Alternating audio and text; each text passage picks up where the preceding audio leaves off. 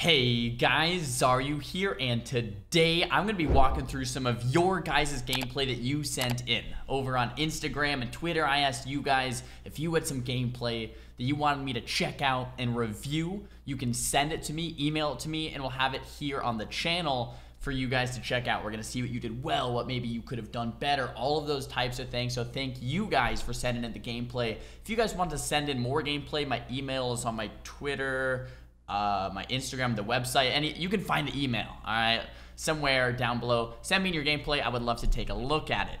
And next, I want to say thank you to Whoop for sponsoring this video. And I know what you guys are thinking. Oh, come on, Czar, a sponsor. What's going on? Guys, I've been doing YouTube for six or seven years. All right, I pretty much have never really done a sponsor. You know why? Because I don't like sponsored videos a lot of the time. But Whoop is freaking awesome. All right. I was going to reach out to Whoop before the sponsorship even happened because I just liked the product. So when they reached out to me, I was like, oh man, this is pretty awesome. All right. So links down below if you want to check it out. It's a Whoop band. It's what I'm wearing on my wrist, all right? It monitors your mental strain, your physical strain, so you can keep an eye on your health, your fitness, while you're gaming, while you're training, all of that stuff. It'll track your resting heart rate, your sleep, your activity levels, your, your HRV, your heart rate variability, your well-being. You can see if you're getting sick or if you're ready to strain and perform really, really hard. So I find it fascinating. If you guys find it fascinating, find the link down below in the description. You can get 15% off with code Xaryu, and there it is. But let's jump into this video, guys. I'm really excited to check out some of your guys' gameplay. Um, bada bing, bada full screen, boom, full screen. Boom, there's full screen. All right. So the first person that sent in gameplay today his name is Czar Bad. Unbelievable. Let's get into it. Cade, actually, no. So he emailed me um, some of, some of these clips, right? I collected these all through email um, via social media, and um, the guy emailed me, and he was like, "Yo, I'm a huge fan. All right, I wanted to send you a gameplay so you could take a look. Don't mind my name." And I was like, "I wonder what his name is." I guess we now know it's Czar Bad. All right. He says he's a huge fan though. By the way, I just got a haircut. What are you guys thinking? What are you guys thinking of the haircut? feeling good, feeling fresh, hopping into this game. Looks like he's playing here with a Holy Paladin, playing Holy Paladin, Fire Mage, fighting Rogue Mage, Sub Fire Mage. Okay, so in this matchup, guys, as the Mage, okay, Mage, Holy Paladin, you are advantaged against the Rogue Mage. So the healer team has the advantage against the rogue mage a lot of the time. So let's hop into this. It starts in a couple seconds. What am I thinking right away? Um, you want to mount up. You want to start mounted, and you want to start with Blazing Barrier on. So I'm just going to go through every single thing I see, right? Everything that I would do different in this clip is what I'm going to be breaking down here today, right? Blazing Barrier, mount up, chill for a second, all right? You want to target the mage. If the mage is, you target the mage and see if he's in stealth. Now, if the mage is in stealth, you can go stealth. You want to go stealth after their mage if possible. Okay? So I would target the mage and go in stealth. If the mage is going stealth, like you don't want to get sapped. Okay, so the mage is going stealth and you get sapped. So this is automatically what you don't want to happen. Okay? Now the mage can cast a greater pyroblast onto you. So what you want to do is target the mage, stay back. When the mage is going invis, you go invis. Alright? If you get sapped, it's not the end of the world. Like, it's not like you have lost at this point, but it's not the ideal opener. The positioning also isn't ideal because you're not near a pillar. So I, if you're going to get sapped, I would say get sapped like here. Reason being is once they open with kidney shot, you can shrink at the kidney shot and line of sight the mage by running around the pillar. Since you're in the open, it's going to be harder to line.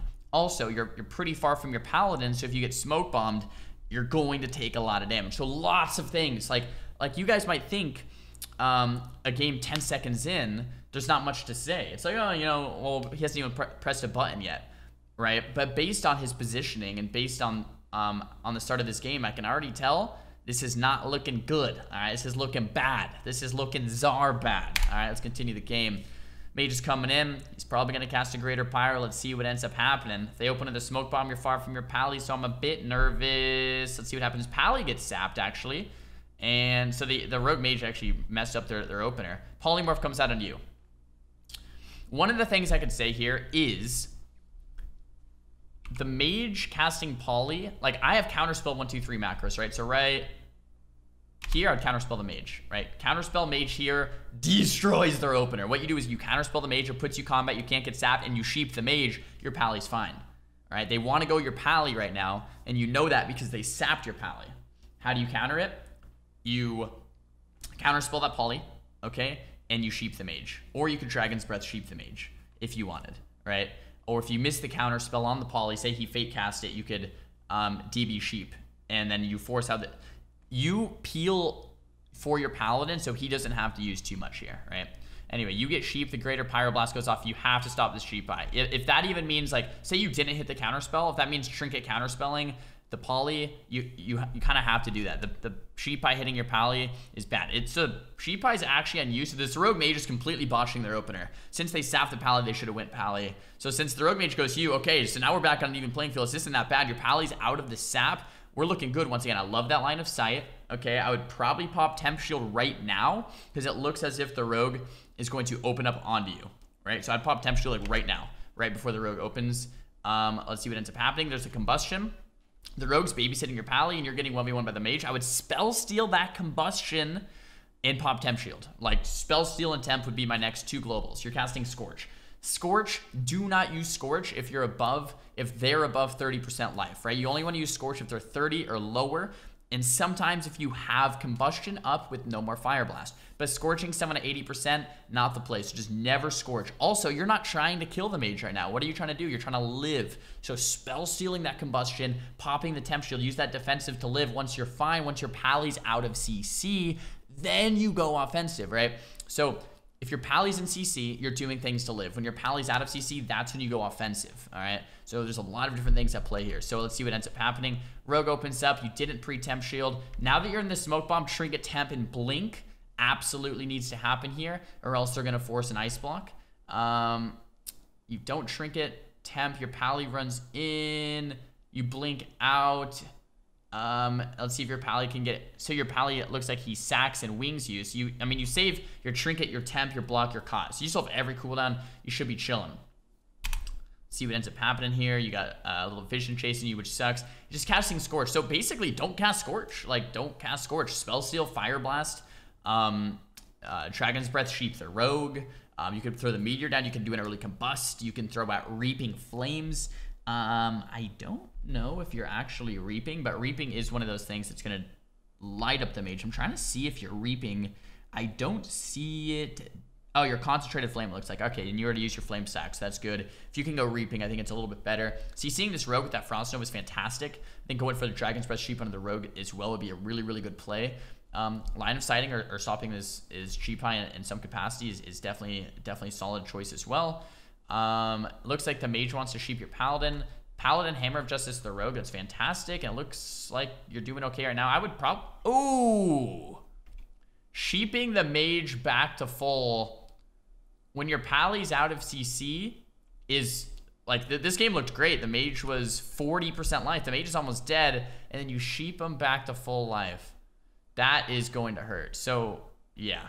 That's maybe the biggest mistakes. Now, now he's back to full life. He blocks the Pi. This is a little sketch. Greater Pyroblast, I would counterspell that fantastic counterspell. You blink. Don't get too much distance there. The rogue reconnects. Now you're going rogue. So it, if the mage is there and you've already committed mage and the mage already blocked, I would just commit to mage. However, going rogue's fine if rogue has no cloak. Um, I would pop combust and kill him, right? So the fact that there's been no combust used when the rogue has no cloak, mage has no block, like this is your time. Like you can kill.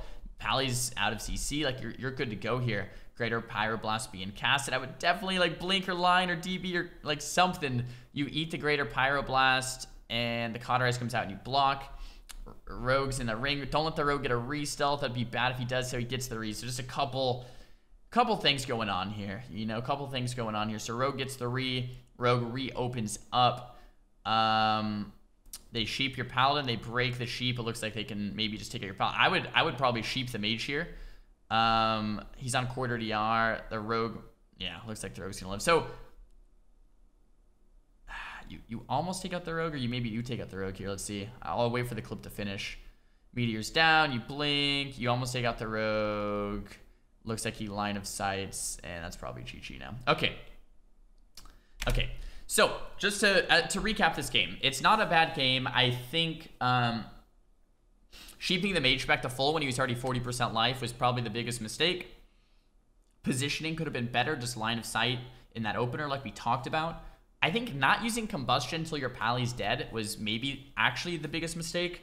Uh, maybe even more so than sheeping the mage. If that rogue cloaks and you have combust, you won the game. All you have to do is combust the rogue and he's dead. Um, similarly, if the mage blocks and you still have combust, you also won the game. All you have to do is combust and he's dead. All right, so just not using that combust until a little bit too late, and then uh, you know, I, I, in a smoke bomb, I probably would just trinket temp and blink out, so you probably doesn't have to use anything. Um, yeah, I mean, a couple things. Game wasn't terrible. Uh, I did see some nice counter spells, some nice line of sight. Um, the damage there at the end, that burst was great. I think generally saving Scorches for when they're under 30% is a good idea as well. But yeah, the game looked good all around. But yeah, I think I think fixing um, some of the like tightening some of these uh, screws is that is that a is that a saying? In these weak areas, you, will definitely be winning that next time. All right, let's hop into another game from a viewer uh, game that they sent in. So this game is from Jambone. He sent it in. Uh, looks looks like my webcam. Actually, let me just let me just. Oh, nice. What is on what is on what is on your head, Jambone? I have no idea what's going on there. I'll try to like. Uh, okay, and there we are, the czar. All right. So here we are, guys. Um, we're fighting Feral, Druid, Resto, Shaman, and the sap comes out on the Shaman, Feral opens up. So the sap on the Shaman, I, I would say don't sap Shaman until Feral opens up. In this case, it didn't hurt you guys because you got the sap as the Feral opened up, but just keep that in mind. I wouldn't really sap Shaman until Feral opens, right? When the Feral opens, you cheap shot Shaman um, into a polymorph and you kidney shot the Feral is, is generally the play here. Looks like you're playing Fire Mage as a Rogue, and we want that Mark for Death Kidney on the Feral Druid instantly. Let's see if it happens. Um, he gets the wall off. You mark for Death Kidney. That's fine.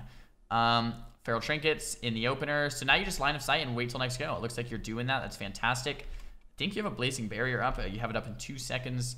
Looks like you're sitting down to eat. Blazing Barrier's up. You use it. That's perfect. This is just hard. Um, this is a hard game because you're half HP and you haven't really done anything wrong at this point. Um, it's just it's a hard matchup, straight up. Your rogue gets the cheap shot onto the shaman. Probably not the best play here because you're still 8 seconds on poly DR and the feral stealth. So if I was your rogue, I just probably wouldn't have opened yet. But let's see what ends up happening. Um, you pre-temp shield the opener. Beautiful. Thorns this out. See if you can spell steal. Um, it looks like you're going for the blind onto the true. Looks like you're going shaman. So, hmm. Would I have done this? Probably not.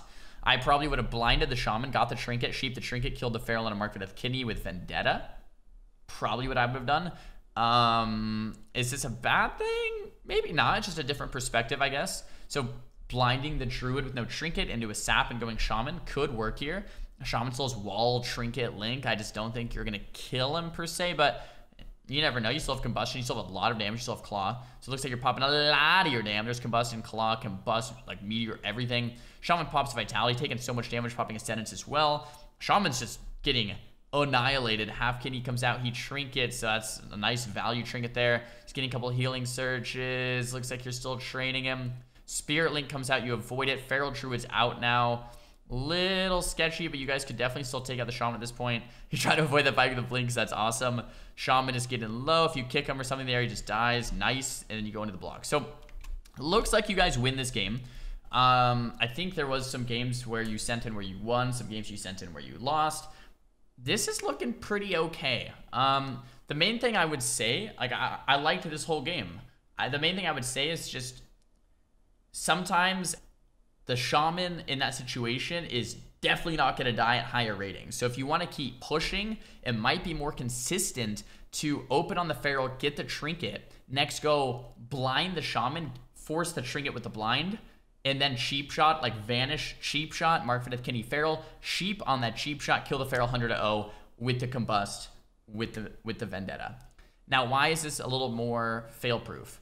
Because the Feral won't be able to live with no trinket if you vendetta combust him. You'll just win right there. And if the shaman trinket's blind, it's GG. Now, the only way this was wouldn't work is if the shaman sat the blind. But if the shaman sits the blind, you hit the feral anyway, you pop vendetta, maybe hold combust but pop vendetta, and then you get the shaman to trinket blind, you CC him through, and then you pop combust and kill anyway. So it's just safer. The strat that I would usually do is just a bit safer. Um, this worked though. I don't think anything in this game was like absolutely terrible. I like the positioning. I like the usage of Blazing Barrier, Temp Shield. I like the usage of Combust. Um, yeah, the, the whole game, the whole game looked pretty solid. So let's just let this finish out. Assuming you won, can you imagine the Feral 1v2s him after all that and they lose? No. I have no idea what's going on here. And then also full pig cost 20. Don't understand what's going on here with the pig costume. But those are some GG's all around.